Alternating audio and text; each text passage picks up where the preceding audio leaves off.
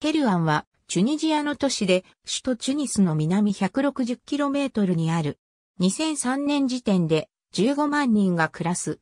ケルアンは670年頃に建設が始まり、名前はキャンプ、キャラバン、休憩場所を意味するアラビア語のカイルワーン、ペルシア語でのケリバンに由来する。ケルアン県の県都である。ケルーアン、カイルーアン、カイルアン、カイロワン、イラワーンとも表記される。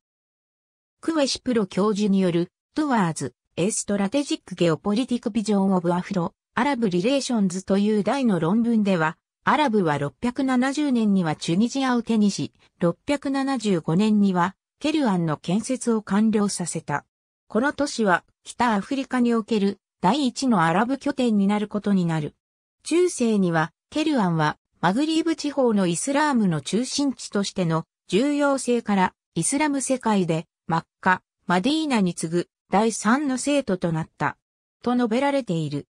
ケルアンは670年頃、アラブの将軍ウクバ、イブン・ナーフィウが森深く野生動物や爬虫類のはびこる場所に軍の駐屯基地を選んだことに始まる。ベルベル人の監視が目的で、また海からの攻撃から安全な洋海岸から遠くに位置した。町はすぐに開発が進み、豪華な庭園とオリーブ園があった。イブン・ナーフィウは駐屯基地ができて、約15年後にベルベル人との戦闘で殺された。ケルアンはすぐに、その後4世紀にわたって、主要な聖地北アフリカの真っ赤として記憶されるようになる。アグラ部長は、イフリーキアを支配し繁栄した。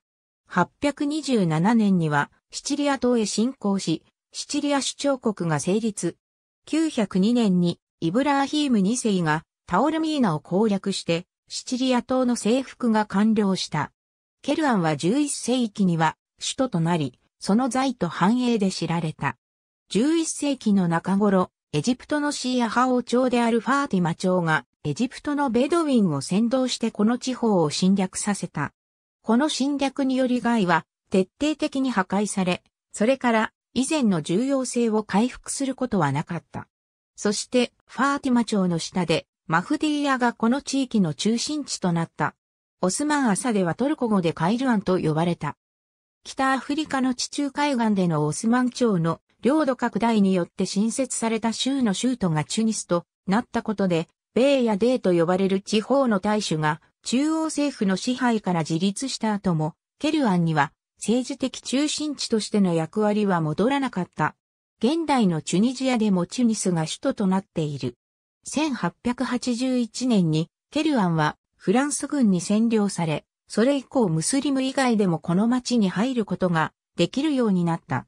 ヒッティ、フィリップ・系、アラブの歴史した岩永博役、講談社、講談社学術文庫、1983年、初版。ISBN4 から06から158,592から4。P509 この世界遺産は、世界遺産登録基準のうち、以下の条件を満たし、登録された。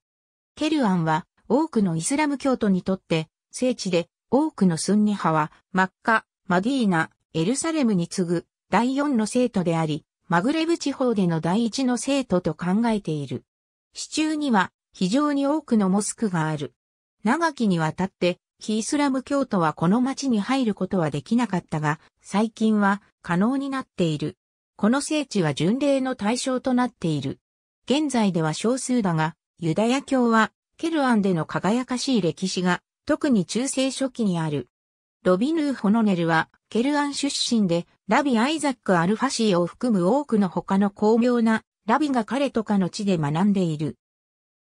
ケルアンのスークは大変有名である。壁に囲まれたメディナの中にあり、その入り口の門は遠くからでも目にできる。ここで売られている商品には絨毯、壺、革製品がある。主要なチュニジア都市の商人と同様、ケルアンの商人も収入の多くを観光に頼っている。この町のもう一つの見どころは、グランドモスクで、その大部分は、元々の建築材でできていると言われている。実際、他の部分は地方で作られたものであるが、列柱のほとんどは初期の建築物の遺跡から取ってきたものである。チュニジア人の間では、ケルアンはゼルビアやマクラウドといった練り菓子で有名。映画、レーダース失われた、アークでの回路のシーンは、ケルアンで撮られたもの。ありがとうございます。